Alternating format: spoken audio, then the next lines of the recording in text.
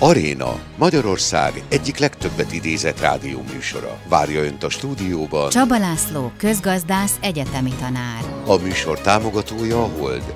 Meghozzuk a döntést befektetéseiben. Hold.hu Segítse ön is munkánkat azzal, hogy feliratkozik csatornánkra.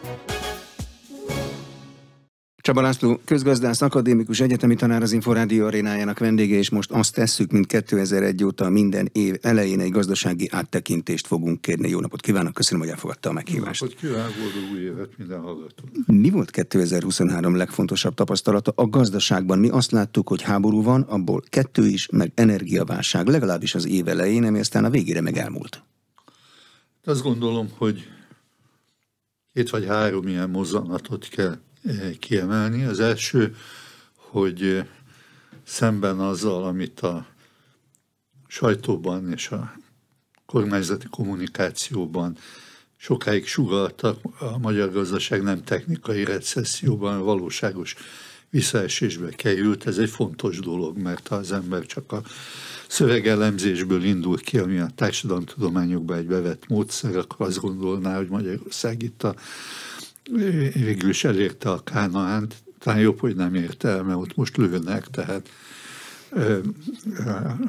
nem értük el a Kánaánt, egy visszaesés volt, és ez nem technikai jellegű, tehát nem azért történt, mert számítási okokból átmenetileg volt egy visszaesés, hanem visszaesett a magyar gazdaság, benne a kereslet, ez egy nagyon fontos eleme annak a második sajátosságnak, hogy miközben hát most már Európában csak a második legmagasabb az inflációs rátánk, ez az inflációs ráta az lefelé mozgott, ugye nincs kereslet, nem lehet aladni, akkor nem lehet árat emelni, ez ilyen egyszerű. A szám, amit szoktak mondani, az most így a előző év azonos hónapjához mért infláció. Természetesen nem akarom azt mondani, hogy vannak megengedhető és meg nem engedhető közgazdasági kategóriák, ezek akkor voltak, amikor én voltam egyetemista, de azért azt kell mondani, hogy általában véve, amikor azt mondjuk, hogy annyi az éves infláció amennyi, akkor e tekintetben a 17,5 százalék a mérvadó, ez egy előzetes szám a Nemzeti Banknak az előrejelzése, most lehet egy fél százalékkal több vagy kevesebb, de a 17 százalékos infláció az nem egy számjegyű. Az azt jelenti, hogy amikor a 2023-as évet vizsgáljuk, akkor azért ebből kell kiindulni, hogy hát körülbelül ekkora volt az infláció, ez sokkal magasabb, mint sok-sok év óta, bármikor megfigyelhető volt, és a visszaesése az elsősorban, tehát az, hogy az év harmadik és negyedik negyedévében már nem gyorsult tovább, ez a kereslet visszaesésének, tehát a recessziónak volt köszönhető. És a harmadik ilyen sajátosság az ezekkel összefügg, hogy a, a kamatszint az magas volt, tehát hogy ismét helyreállt a rákamat, amit sokan nehezményeznek, de egy normális gazdaságban ez a normális, tehát a Nemzeti Bank a saját küldetését a alaptörvényben foglalt feladatát követve egy olyan szintre állította be a kamatot, amelyik a nek a színvonala az új hitelek esetében, ahol nincs kamatstop, ott magasabb az inflációnál, ez az új hitelekre vonatkozik, de azért ez egy jelzés a tekintetben, hogy amikor elgondolkozunk a jövő évben, illetve most már 2024-ben milyen lesz a magánberuházásoknak a lehetősége, akkor azért ez meghatározó, tehát bárki, aki gondolkozik ezen, hogy a KFT-jét bővítse, a lakását felújítsa, bármiféle gazdasági tevékenységen gondolkozik, akkor azért ezt a rá, pozitív rákamatot, ezt biztos, hogy figyelembe kell, hogy vegye. Ez ugye mérséklőleg hat a beruházásokra, de nem elkerülhető, mert a magyar gazdaság kicsi nyitott, a kivitelünk, behozatalunk egyaránt megfelel a, a bruttó hazai terméknek. Tehát egy ilyen kis nyitott gazdaságban nem lehet azt mondani, hogy a Magyar Nemzeti Bank gondol egyet, és kialakít egy ilyen vagy amolyan szempontból optimális kamatszintet, azt a nemzetközi piac határozza meg. Ugye épp a mai nap volt az megfigyelhető, hogy a államadóságkezelő központ kibocsátott egy jelentős dollárkötvényt. Ez iránt volt e, kereslet, de azért volt kereslet, mert ugye ez a e, dollárkötvény ez magasabb hozamot biztosít, mint az amerikai dollár kötvény. Ugye az a kérdés, hogy mennyivel, kezdetben azt gondolták, hogy 200 ponttal, végül csak elég volt, hogy 180 ponttal többet, tehát 1,8%-kal többet fizetünk, mint amit az amerikaiak fizetnek ezért a pénzért, ami röviden azt jelenti, hogy van pénz a piacon, de nem ingyen van. A szétszállazható az valahogy, hogy az infláció elszaladásában kinek mennyi a felelőssége, és a lebirkózásában kinek mennyi az érdeme. Igen, hát azt szokták mondani, hogy a, a, az infláció elleni küzdelem az a Nemzeti Banknak a feladata, ami az alapvető szereposztásban így is van, és végső soron alapvetően a Nemzeti Bank feladata az infláció elleni küzdelem, ugyanakkor a Nemzeti Bank az nem egy magányos harcos, azért a, ma már az elméleti irodalom is azon az állásponton van, hogy különösen amikor bonyolult és kiszámíthatatlan a világ, mint most is, elhangzott már háború, energetika, mindenféle okok, főpiacaink stagnálása, átterelés, kevés sikeres volt. A, na, egy ilyen helyzetben segíteni kell, tehát ez egyedül nem megy, ahogy a Kuplé mondotta volt régen. A Nemzeti Bank elsődleges felelős a infláció elleni küzdelemnek, de annak be kell segíteni a kormányzatnak, költségvetési politikának, és be kell segíteni a szélesebb politikának is, hiszen a bérek alakulása, a nyugdíjak alakulása, de hát még egy sor dolog, most csak minnyájunkat érintő dologról beszéljek, és hogy a benzinben mennyi a jövedéki adó, azt azért a kormányzat dönti el, és eredendően politikai alapon. Most Még az mond, Európai Unió. Mondtam három ilyen mozanatot, ahol nem a Nemzeti Bank dönt ezekben a, az ügyekben. A Nemzeti Bank, az Európai Unió egy minimum szintet meghatároz, tehát nem lehet az alá menni, de a fölé lehet, és azért hát azt kell mondani, hogy van egy hajlam arra a kormányzatban, hogy a bevételt onnan szedje be, ahol nem látszik, és mondjuk ez a jövedéki adó az ilyen, hogy amikor elmegyünk tankolni, akkor nem azon gondolkozunk, bár egy időben ki volt írva, hogy a árnak mekkora része az adó, nem ezen gondolkozunk, hanem azon, hogy szeretnénk egy zsúfolt tömegközlekedéssel utazni, oda akarunk érni időben, gyerek beér az iskolába, tehát azért azt gondolom, hogy vannak ilyen kiadások, amiben a benzin az első, de nem az egyetlen, amin a lakosság nem szokott takarékoskodni, és emiatt a kormánynak, hogyha bevételigénye van ehhez a tételhez könnyebben nyúl, mint sok minden máshoz, hiszen hát egyéb területeken mondjuk érzékenyebbek vagyunk, és jobban reagálunk arra, hogy felemeltek ennek vagy annak a tarifáját. Úgyhogy rövidre fogva én, én azt gondolom, hogy a, a válságellenes küzdelemben a meghatározó szerepet azt, azt a visszaesés játszotta. A visszaesés az nem a kormányzati politika egyenes szándékának a következtében alakult ki, bár a kormányzati intézkedések, például a állami beruházásoknak a lelassítása, az biztos, hogy hozzájárult ehhez, ugyanígy a jövedéki adó emelése is hozzájárult ehhez, de azért azt gondolnám, hogy a, az elsődleges szerepe a infláció csökkentésében a jegybank politikájának volt, meg a, annak, hogy az árfolyam többek várakozásával ellentétben se nem erősödött túl, se nem omlott össze, tehát stabilizálódott, ez a második. És a harmadik, hogy a hát végeredményben a béreknek, a reálbéreknek a növekedése az nem következett be, a reálbérek azok negatívan alakultak, tehát a bér visszafogottság az akkor is érvényesült, hogyha a névleges bérek azok, azok jelentősen nőttek, de nem annyira, mint az infláció, úgy, ahogy a interjú elején említettem, tehát az éves infláció, éves bérnövekedése egybevetve negatív számot fog kiadni, tehát ha nem nő a, a kereslet, nem nő a reálbér, akkor az történik, hogy elköltik azokat a pénzeket, amiket a választási évben mint 13. havi nyugdíj, mint fegyverpénz, mint ilyen-olyan juttatások kaptak, és aztán utána óvatossá válik minden háztartás, mert hogy,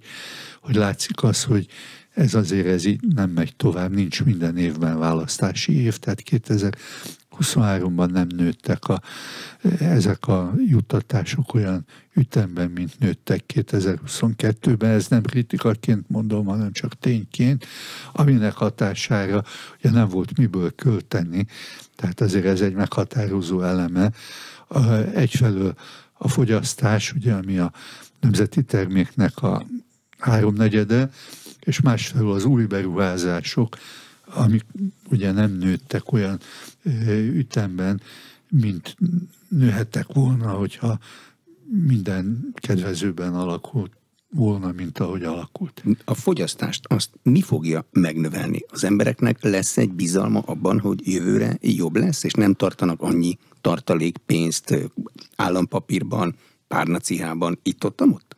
Vagy a kényszer, mert elromlott a mosógép, és muszáj venni egy újat? Én azt gondolom, hogy az a második a meghatározó, tehát amennyire a konjunktúra felmérésekből látni lehet, a magyar lakosság nagyon óvatossá vált, meg bizonytalan.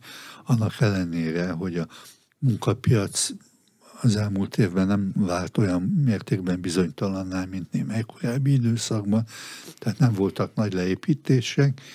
Ennek ellenére azért ezt látják, hogy a bérek nem növekednek korlátlanul, ennek következtében van egy óvatosság, ami nagyon indokolt.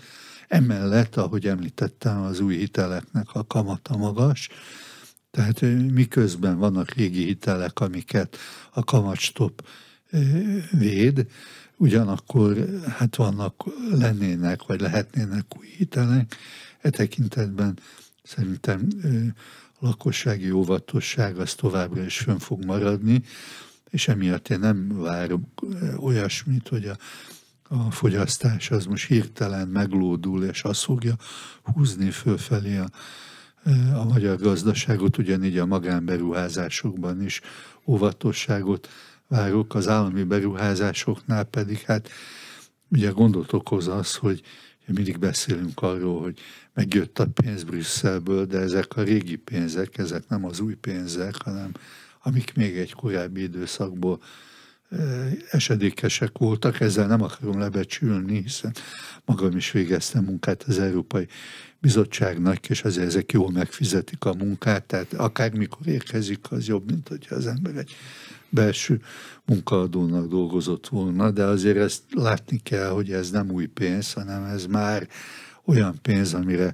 amivel számoltak, és az esetek jelentős részében a a Magyar Államkincstár és vagy a Magyar Nemzeti Bank megelőlegezte ezeket a pénzeket, tehát a fedezet jön most be. De attól fog növekedni a fogyasztás, hogy az emberek elkezdenek bízni valamiben? Vagy a munkaadók egyszer csak elkezdenek pénzt fizetni, de a munkaadó az a piacra dolgozik, akkor tud emelni, ha el tudja adni a dolgait. Igen, én azt gondolom, hogy éppen miatt a bizalom az meghatározó a fogyasztás alakulásában, ez a bizalom, ez nem tért vissza. Ugye a bérek azok nem növekednek olyan módon, ahogy említette, amiatt, hogy a piac nem nő nagyon gyorsan, és ez a piac ugye két fontos elemből áll össze, a belső piacból és az európai piacból, és egyik sem nő olyan nagyon erőteljesen. Az amerikai az nő, de az viszonylag kis része, csak azért említem meg, mert ugye mindig a keleti nyitásról szokott a politika beszélni, és a keleti nyitás időszakában is az amerikai piac az, amelyiknek a részaránya a magyar kivitelben megnőtt, és nem a kínai Tehát nő a magyar-kínai kereskedelem, de az ugye úgy néz ki, hogy ha tíz egység a forgalom, kilenc belőle a kínai export, és egy a magyar. Tehát az nem lendíti fel így a magyar gazdaságot. Tehát látni kell az, hogy nincs keresleti oldalról egy jelentős húzóhatás, az állam nem tud belépni tetszés szerint, mert akkor ugye a infláció ellenes célokat föl kellene áldozni. Lehet hallani ilyen hangokat, nem is akárkiktől, hogy hát nem kell ezzel törődni, hát lám az Egyesült Államokban, meg Németországban is költekezik a kormány, tehát egyelőre a forint az nem világvaluta, mint a dollár, tehát a dollárt lehet akármennyit nyomni, azt ugye le fogják jegyezni ilyen-olyan kötvényekbe, és így az Egyesült Államok tudja a maga gazdaságát költségvetési oldalról is gerjeszteni a magyar gazdaságban. Most ebben a visszaeséses időszakban, 2023-ban ugye el, előzetes számok szerint 6%-ot meghaladta a hiány. Szeretném említeni, hogy ez a nemzetgazdasági teljesítmény 6%-a, nem a kiadások 6%-a, a kiadások 12%-át jelenti ez. Tehát egy rendkívüli mértékben költekező pénzügyminiszterek szoktak Magyarországon a pénzügyi stabilitás biztosítékának tekinteni, ami hát magyarázza, hogy a magánbefektetők, mint fogyasztók, mint pedig a beruházók, azok óvatosak. A biztonságot az európai kormányok és benne a magyar most már árazzák? Azért kérdezem, mert egy korábbi arénában néhány évvel ezelőtt azt mondta, hogy nincs ez benne a fejekben most. Én azt gondolom, hogy elkezdték beárazni, de azért egészében nem tért, de nem mondhatjuk azt, hogy a, a biztonság kérdései maradéktalanul be vannak árazva. Hát most csak egy valamire gondolok, ugye a, a cseppfolyósított földgáznak a behozatala az elmúlt három évben megkétszereződött Európába. Ugye ez, ez a energiahordozó, ez dupla annyiba kerül, mint a orosz, vagy bármilyen algériai, nigériai mm, földgáz kerülne, tehát ez meg kell, hogy jelenjen. Megjelenik egyfelől úgy, hogy Európa legtöbb országában igen erőteljesen az energiatakarékosság irányába haladnak, ez a rezsicsökkentés pont ellenkező irányú. Másfelől hát egy sor területen érvényesítik ezeket a árakat mind a fejlesztésekben, mind pedig az árakban. A fejlesztések azért fontosak, mert hát sok olyan tevékenység van, ami energiaigényes, kezdve mindjárt a középületek fűtésével, de folytatva az autóiparral és sok minden mással. Hát ezeken a területeken Nyugat-Európában jelentős erőfeszítéseket tettek, és hát ilyen értelemben ennek az ára megjelenik, de azt azért nem mondanám, hogy ez most már be van árazva, hogy mindenki tudja, hogy meg fog szűnni a keletről és délről irányuló energiabehozattal, és a, valamilyen módon a helyi termelés fogja az igényeket kielégíteni, ez, ez erről még szó sincsen. Ez Európai Uniónak van még a Covid után kialakított egy úgynevezett ideglenes helyreállítási eszköze, ennek a célja a koronavírus világjárványról való kilábalás, zöldebb, digitálisabb és reziliensebb jövő kialakítása van ennek kettő lába, 338 milliárd euró visszanemtérítendő támogatás, meg egy ennél masszívabb 385 milliárd eurós hitel láb. Erről a magyar kormány azt mondta, hogy ez nem kell, de tavaly februárban Navracsis Tiborit azt mondta, hogy abba az irányba haladnak, hogy ez kelleni fog. Egy Európai Bizottság által felvett hitel, az egy nemzeti gazdaságot, az hogyan érint? Mi az összefüggés? Hát az attól függ, hogy valakinek milyen a megítélése a piacon, azért is emlegettem ezt a dollár kötvény kibocsátást, mert világos, hogy eh, ha az Európai Bizottság venne föl hitelt, akkor az olcsóbb lenne, illetve egész konkrétan tudjuk azt, hogy ebbe az újjáépítési alapnak a hitel keret része az alacsonyabb kamatozású, mint amilyen feltételek mellett ma Magyarország pénzhez tud jutni. Tehát én ezt helyesnek tartom, amit itt a Navracsics miniszter úr mondott, hogy a kormány némi megkésettséggel észrevette, hogy nem csak a vissza nem térítendő, hanem a visszatérítendő támogatást is érdemes fölvenni.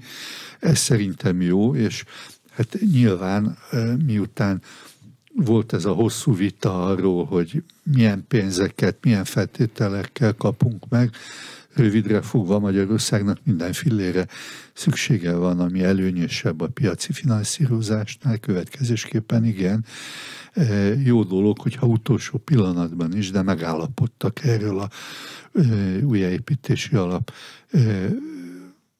igénybevételéről, a jó emlékszem, december 9-én született meg a megállapodás, nem lehet azt mondani, hogy elkapkodták, de azért ugye szokták mondani, jobb később, mint soha.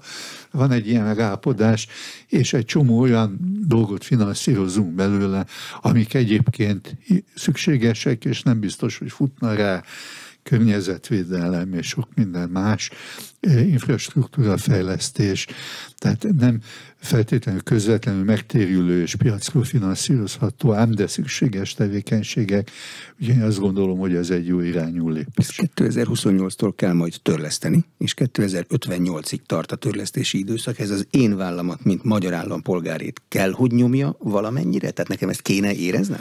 Hát feltétlenül, mert ugye nincs, aki kifizetni helyettünk ezeket a a tartozásokat, ugyanakkor, mint a kérdésben is szerepelt, itt ez egy nagyon hosszú idejű, és én még hozzátettem, hogy alacsony, viszonylag alacsony kamatozású hitel, tehát ez az adott körülmények között a legelőnyösebb.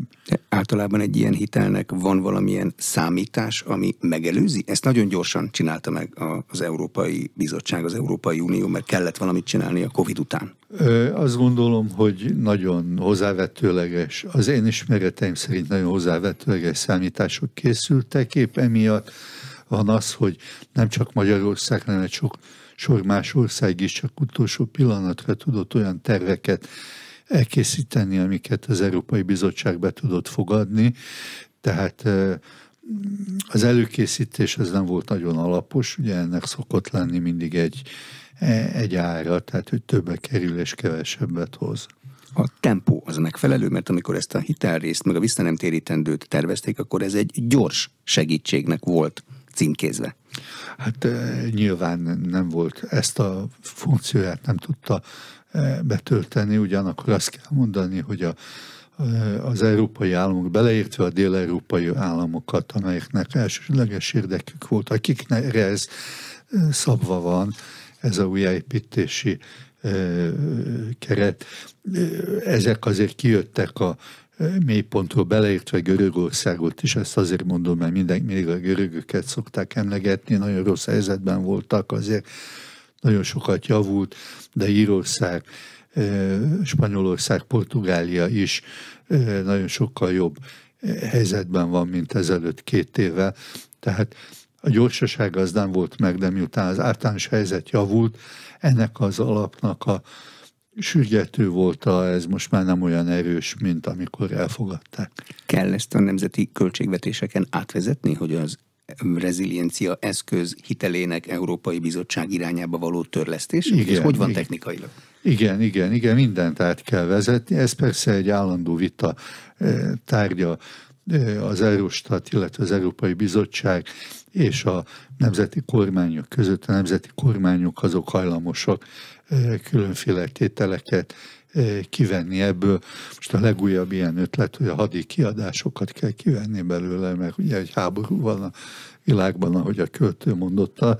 Tehát én azt gondolom, hogy a közös érdek az, hogy korrekt számviteli kimutatásaink legyenek, tudjuk, hogy mi mennyibe kerül, és úgy is legyen elszámolva, mert hogy akkor tudjuk azt, hogy a következő években, beleértve a következő nemzedéknek, eh, mit kell még fizetnie abból, amit ma elköltöttünk. Átlátja, hogy mi most az Európai Unió terve a zöldítéssel, az energiatakarékosabb világgal? A helyreállítási eszköz egy jelentős része is erre vonatkozik, de alulról nézve nem világos, hogy mifele haladunk.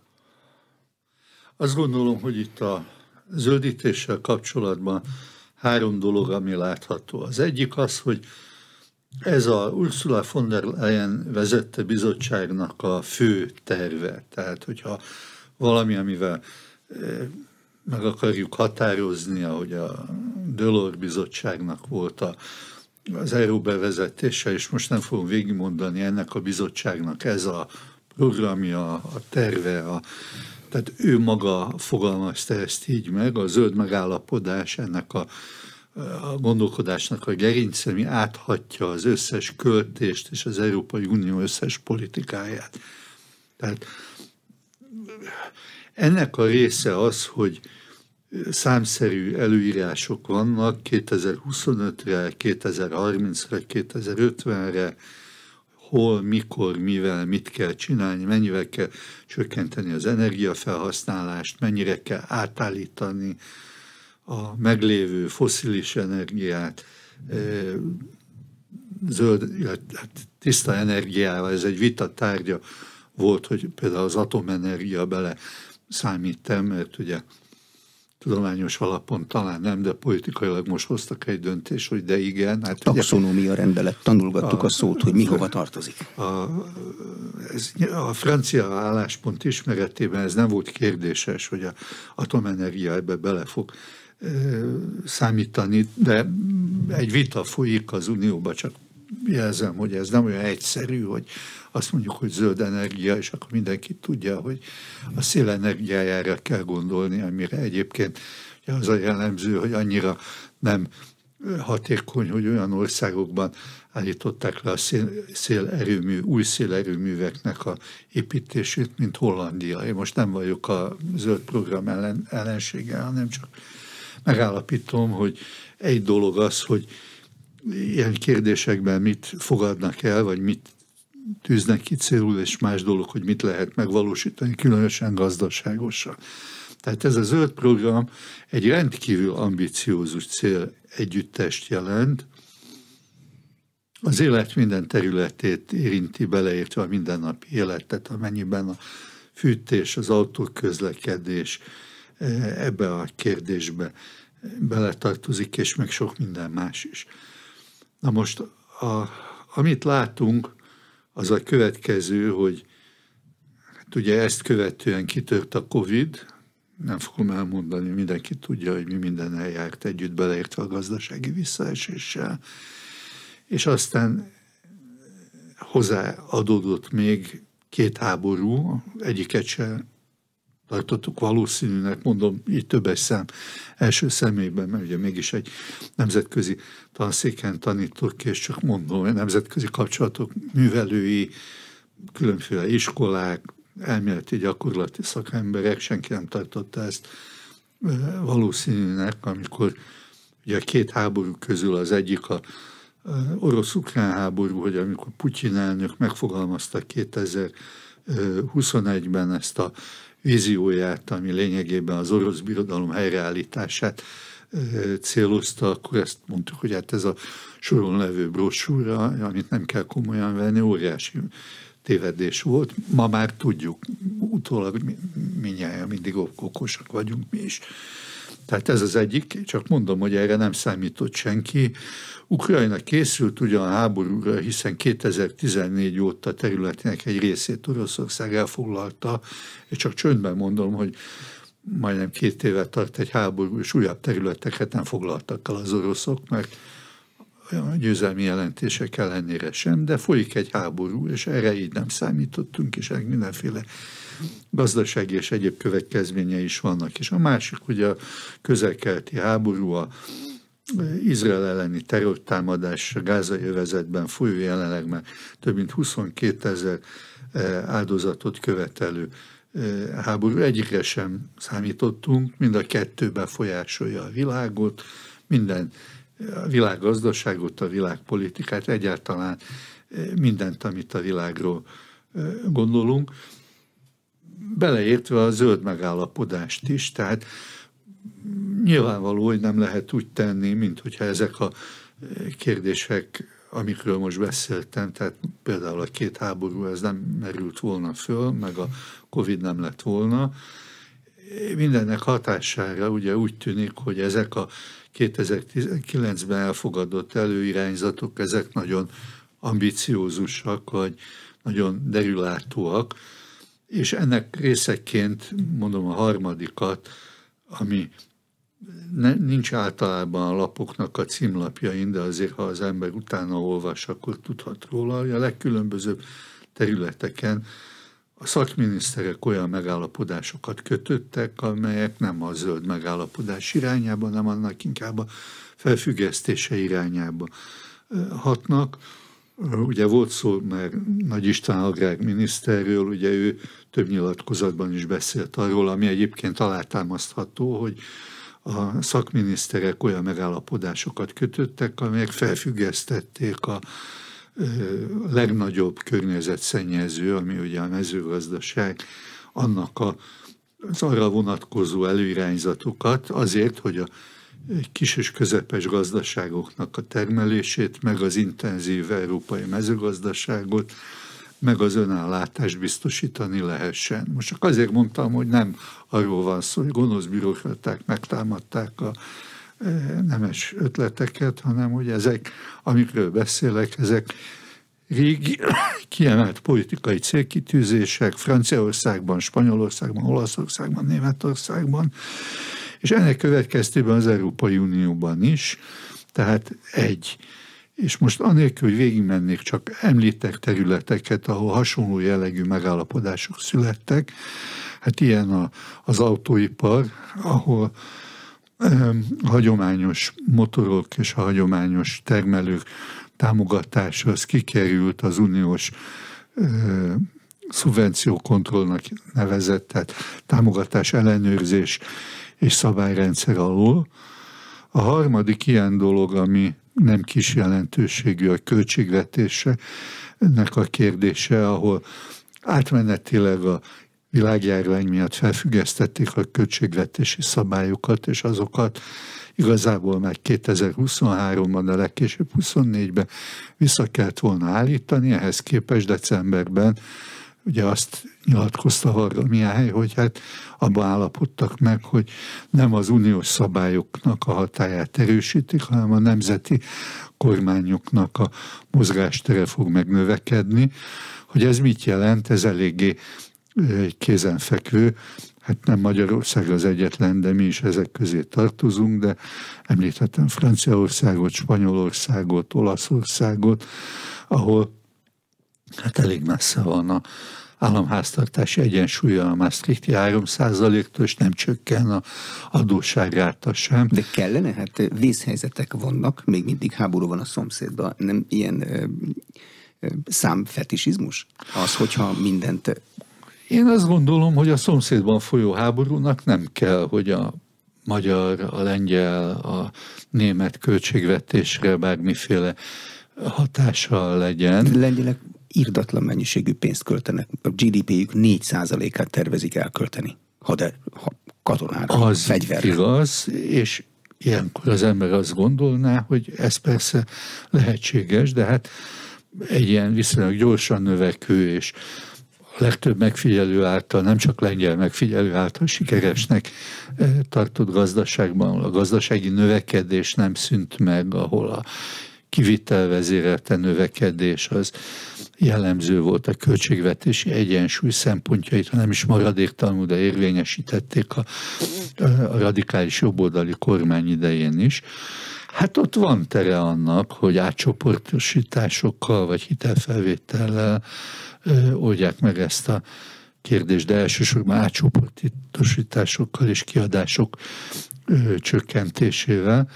Tehát ez nem magától értetődő, hogyha valahol megnövelik a hadi kiadásokat, akkor akkor az államháztartás hiánynak is meg kell nőni. Ez valószínűleg igaz Izraelre, de mondjuk nem igaz az Egyesült Államokra, nem igaz Németországra, nem igaz Angliára. Tehát csak annyit mondok, hogy a háború az egy jó hivatkozási alap, de nem automatikus, és ahogy a stabilitás és növekedési egyezmény új kiadása meg van fogalmazva, abban nem következik, hogy automatikusan föl kell függeszteni éveken keresztül. Az egy lehetséges álláspont persze, amit főleg a szociáldemokrata és a radikális jobboldali Európa parlamenti képviselők régóta kép, megfogalmaztak, hogy ezt az egész növekedési és stabilitási egyezményt el kell felejteni, de hát ezt el kell fogadni ezt a döntést, és akkor meg kell változtatni a unió alapszerződését. Tehát ez nem olyan egyszerű, hogy kérem szépen háború van. Olyan ország, amelyik maga nem áll háborúban, mint például Magyarország, az nem hivatkozhat a 6%-ot meg haladó hiánya magyarázataként arra, hogy a szomszédban lőnek. Mit kell figyelnünk ebben az évben, ha azt akarjuk tudni, hogy milyen lesz nekünk, a mi gazdaságunkban Németországot? Hát Németországot mindenképpen kell figyelni, mert az, ami meghatározó piacunk. Az Európai Unió egészét és ezen belül az erőövezetet is figyelni kell, de hát figyelni kell a visegrádi államokat is, hiszen Csehország és Lengyelország nekünk fontos piacunk, fontos figyelnünk Olaszországot, most fontos figyelni Franciaországot, mert ezek mind fontos piacaink, és az ember azt látja, hogy Olaszországban, Franciaországban, Németországban nem nagyon dinamikus a gazdasági növekedés, akkor hát lehet persze azt mondani, hogy az Unió egyéb piacai ezt akár kis egyensúlyozhatnák, de ezt nem szokták csinálni. Úgyhogy emiatt én azt gondolom, hogy a magyar gazdaság növekedésének sokkal erősebb külső korlátja van az idei évben, mint amivel a kormányzat számol. Tehát 4-4,5 százalékos növekedésre gondolnak, és ez az alapváltozat, ez nem a derülátó változat. Ha minden összejön, és megnyerjük az ötös lottót, akkor, akkor ez fog történni. Ez nagyon nagyon derülátónak tűnik, és hát a keleti piacokon, amikre megpróbáltunk betörni, ott ez a törekvés nem volt sikeres, maradna a belső piac, de a belső piac élénkítésének a lehetőségei azok korlátozottak, hogy körbe jártuk, hogy beruházás, fogyasztás, állami költekezés, ugye mindegyik valamilyen oldalról meg van fogva. Ugye a, ha most én adottnak, miért ne venném adottnak most a kormányzat által deklarált célokat, akkor ez azt jelenti, hogy jövő évben fele akkor a költségvetési hiányjal kell gazdálkodni, mint az idei évben, akkor ebben nem illik bele az, amit a nemzetgazdasági minisztertől hallok, hogy hát más országok is felpörgetik a gazdaságukat a hiánynak a csökkentésével, de hát azokban az országokban vagy nincsenek ilyen korlátok, vagy az történt, amit ugye a német közlekedési lámpa koalíció próbált csinálni, hogy semmibe veszik a ő alaptörvényükbe foglalt azon előírást, hogy békeidőben a államháztartásnak kiegyensúlyozottnak kell lennie, és ha fölvesznek hitelt, az csak beruházásra tehetik. Ugye, na most ezt a kísérletet, hogy ezt megpróbálták egyszerűség kedvéért valamilyen módon hát elkerülni. Ezt az alkotmánybíróság ugye törvénytelennek minősítette, következésképpen a német kormánynak is hát megszorító intézkedéseket kell hoznia. Ebből csak annyi következik, hogy nem olyan magától értetődő, hogy mert van példa a világban arra, hogy valaki költekezik, ez Magyarországra is vonatkozna, hiszen Magyarországnak minél inkább a piac finanszírozására vagyunk utalva, tehát feltételező az, hogy nem jön meg minden pénz Brüsszelből, és hogy a, megjönne minden pénz Brüsszelből, az se lenne elég a gazdaság finanszírozására, akkor azért önérdekből, és nem azért, hogy bárkit, hogy Európai Központi Bank elnök asszonyát boldogát tegyük, nem azért, hanem hanem önérdekből figyelnünk kell arra, hogy tényleg, ahogy ez a költségvetési törvényben szerepel, mind az adósság rátal, mint pedig a költségvetés államháztartási hiány az az idei évben kisebb legyen, mint 2023-ban volt. Most ha ez nem történik meg, akkor én nem gondolom, hogy katasztrófa van, de hogy a, a kormányzatnak a hitelessége súlyos csorbát szenved, én értem, és helyes, helyeslem is, hogy Varga Mihály azt mondta, hogy február végén már ránéznek a költségvetésre, az azt jelenti, hogy szerintem nem, nem fog csökkenni a hiány, mert az adósság előirányzat az inkább növekedni fog a nehéz helyzetre való tekintette, energiaháború, Isten tudja micsoda. Mekkora növekedéssel számol ebben az évben, mekkora inflációval? Számol. Ugye most ezt valószínűsíteni lehet, és legkésőbb Igen. 2025. januárjában visszatérünk rá. Én azt gondolom, hogy egy ilyen két és fél százalékos növekedés az egy szép teljesítmény. Ja, olvastam ma egy jeles elemzőnek az előrejelzését, hogy Magyarország több éves stagflációba kerül. Ez benne van, tehát én nem mondom, hogy ez egy rémálom, hogy ilyennel ne foglalkozzunk. Ez benne van a lehetőségek között, de egyelőre még nem vagyunk benne, és 2024-re kérdezett 24-re nem gondolom, hogy stagfláció lesz Magyarországon, lesz egy növekedés, ami kisebb lesz, jelentősen kisebb lesz a kormányzat előrejelzésénél, amit a kormányzat helyes a figyelembe vesz, mert ugye nem tudja a meg nem termelt jövedelmet elkölteni, legalábbis következmények nélkül. Ha mégis elkölti, akkor az infláció nem marad azon 6-7 százalékos szinten, amit most a Nemzeti Bank e, alelnöke is a minapi interjújában valószínűsített, hanem ez egy magasabb, érte az alatt ilyen 8-9 százalékos inflációt e, eredményezne, és ez előállhat abból is, hogyha mondjuk a közel-keleti háború miatt kialakuló bizonytalanságok okán e, az energia árak ismét meglódulnak, a forint begyengül, a kamatszint magas marad, mindezeknek a, a hatására egy magasabb inflációs szint alakulhat ki, különösen ha az történik, amit ugyancsak a nemzetgazdasági miniszter mondott, hogy a bérek növekedését, nyugdíjak növekedését a kormány, mint fogyasztás ösztönző intézkedést fontosnak tart. Most, hogyha a bérek növekednek, nyugdíjak növekednek, kamat magas szinten van, költségoldali tényezők fölfelé hajtják az árakat, akkor ez a 8-9 százalékos infláció, amit én elképzelhetőnek tartok, és várok is a idei évre, az nem egy, egy extrém módon borulátó előrejelzés, hanem hát a folyamatokból kvázi automatikusan következik, tehát ehhez nem kell semmit se tenni. Ha egy kisebb inflációt akarna a kormány, akkor szigorú politikát kellene folytatni, de hát nehéz megmondani, hogy mit akar a kormány, az egyik tagja ezt mondja, a másik tagja meg a maszt. Európai Unióra milyen számokat lát most növekedésben, meg inflációban, legalábbis arra a részére, amit nekünk figyelnünk kell?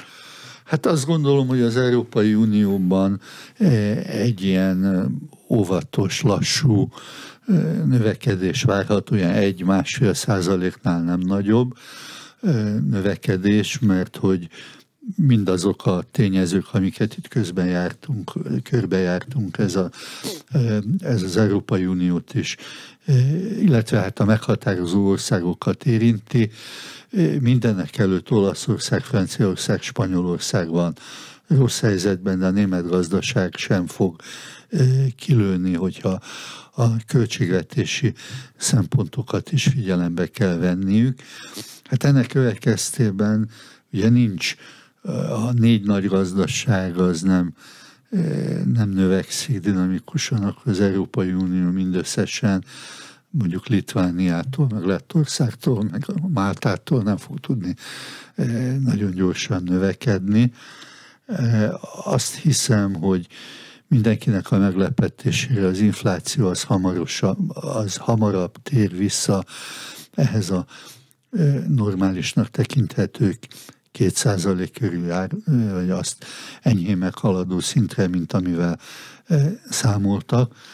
Ebből nem következik szerintem az, hogy az Európai Unió egy, az Európai Központi Bank egy, egy gyors lazításba fogna, az viszont igen, hogy, hogy azok a szigorító intézkedések, amik az elmúlt időszakban megfigyelhetőek voltak, azok talán nem folytatódnak tovább. Tehát egyfajta, egyfajta a mennyiségi könnyítésnek ezt a, a szembetűnő módjaitól fognak tartózkodni, de azt nem, nem gondolom, hogy, hogy egy jelentős ilyen kamat csökkentési politikába fognának, annál is inkább, mert az Egyesült Államokban én úgy látom, hogy a kamat csökkentésnek a időszaka még nem jött el. Most nem ilyen lát, ki vagyok én, hogy lássam, hanem az amerikai egybank vezetője, J. Powell, és a döntéshozó grémiumnak a tagjai tettek egymás után olyan kijelentéseket, hogy, hogy túl korai lenne az inflációt legyőzöttnek minősíteni. Ez azt jelenti, hogy nem fognak kamatot csökkenteni, az amerikaiak nem, akkor a akkor valószínűleg az angolok sem, és az Európai Központi Bank sem. Ez egy fontos jelzés a tekintetben, hogy monetáris oldalról nem lehet számítani gazdasági lénkítésre, költségvetési oldalról talán lehetne, de a legtöbb országban nincs erre mozgástér, tehát ez a Németországban talán lenne, de a másik három országban nincsen. De Németországban ugye a pénzügyminiszter az a liberális pártnak a a, tehát a szabaddemokratáknak a elnöke, és azok nagyon szigorúak e tekintetben. Tehát most helyet cseréltek a kereszténydemokratákkal, akik inkább engedékenyek a költségvetés politikában, de a, a, a liberálisok semmiképpen sem, annál is inkább, mert ez az ő hát profiljuk, és ha lennének mégis előrehozott választások, akkor akkor ez az, az a szavazó réteg, amelyik szigorúbb költségvetés politikát szeretne, az hanem a liberálisokhoz megy, akkor a szélső jobb oldalra megy. Tehát emiatt én azt gondolom, a liberálisok nem lesznek lazák a költségvetés politikában, és ezen fogják megmutatni, hogy ők kormányerő, és addig maradnak a kormányban, míg ezt a szigort tudják képviselni. Nem biztos, hogy tudják, van olyan, hogy leszavaznak egy minisztert, akkor szoktak ugye lemondani a miniszterek és előrehozott választást hozni. Az hát, látszik, hogy a mi térségünket benne Magyarországot milyen típusú befektetők figyelik? Klasszikus karvajtők és a nemzeti fejlesztési célokhoz finoman igazodó, hosszú távú befektetők? Tehát kik akarnak ide jönni? Én azt gondolom, hogy Magyarországot jellemzően a működőtőke befektetők figyelik, és a működőtőke befektetői számára jelent Magyarország egy vonzó helyet. A, nálunk nagyon kicsi a tőzsde, tehát a tőkepiac általában véve tőkepiaci szempontokat követő, vagy valuta befektetésekkel operáló befektetőknek nem annyira izgalmas Magyarország, a működő befektetőinek igen.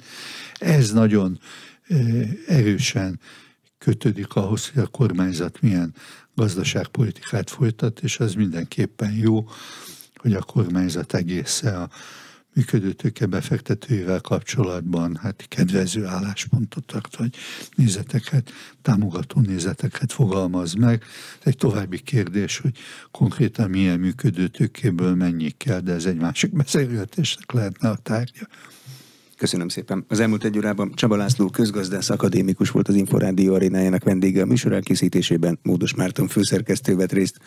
Ha érdekesnek találták, kérem iratkozzanak fel az Inforádió YouTube csatornájára, mert akkor a következő beszélgetést automatikusan fogják megkapni, anélkül, hogy keresni kellene. Köszönöm a figyelmet, Exterde Tibor vagyok. A műsor támogatója a Hold. Nem csak vagyont, kockázatot is kezelünk 1994 óta.